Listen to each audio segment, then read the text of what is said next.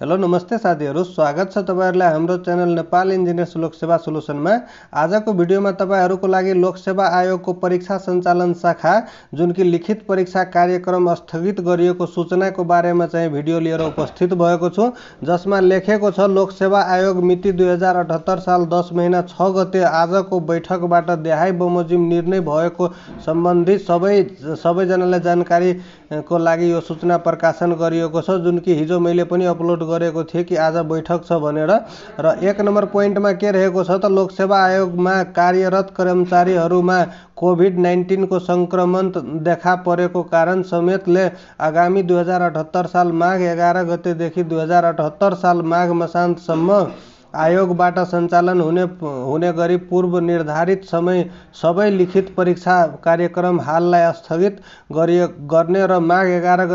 माघ मसान्तसम्म स्थगित गरिएका तथा फागुन एक गते सञ्चालन हुने लिखित परीक्षा कार्यक्रम समेत कम्तीमा सात दिन पूर्व सूचना सूचना दिई पुनर्तालिकाकरण गरी यथाशीघ्र परीक्षा सञ्चालन गर्ने भनेको छ र यसको मतलब के हो भन्दाखेरि जब हाम्रो फाल्गुन एघार गते जुन इन्जिनियरको इक्जाम छ इन्जिनियर लेभलको इक्जाम छ यसको पनि यदि इक्जाम लिने हो भने त्यो सात दिन पहिला नै एउटा चाहिँ नोटिस निकाल्छ। तर वास्तवमा हुने के हुने के हो भन्दाखेरि एक गते पछि नै कुनै न कुनै नयाँ नोटिस एउटा निकाल्छ र त्यसपछि नयाँ एउटा कार्यक्रम सेड्युल गर्छ र इन्जिनियर लेभलको पछिल्लो विज्ञापनमा पनि मुद्दा परेको छ जुन कि अहिलेसम्म इक्जाम भएको छैन। त्यही भएर यो इक्जाम मिनिमम एक दुई महिना सर्छ जस्तो छ।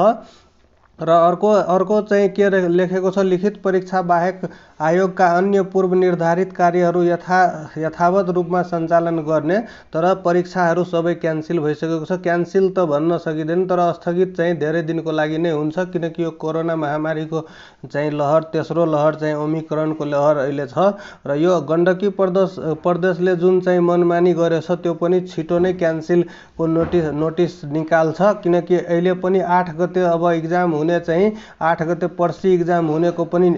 जुन इक्जाम सेन्टर छ, त्यो अहिलेसम्म लिने भनेर नोटिस थियो, त्यो पनि अब यथाशीघ्र चाहिँ कैंसिल या स्थगित करने तुरंत एउटा नोटिस निकाल्छ। त्यही भएर एउटा चाहिँ एउटा टाइम पनि भयो र अर्को चाहिँ अहिले यस्तो यस्तो स्थितिमा यही एउटा उपाय थियो। त्यही भएर यो यो नोटिसको बारेमा कसैलाई केही क्लियरिफाई चाहियो भने कमेन्ट गर्नुहोला र आफ्नो सुझाव चाहिँ राख्न सक्नुहुन्छ। हस्त साथीहरू आजको अपडेट यतिकै थियो र प्रदेश लोकसेवा आयोग र लोकसेवा आयोग सम्बन्धी कुनै पनि नोटिस अपडेटहरूको लागि पनि हाम्रो च्यानललाई सब्सक्राइब गर्दै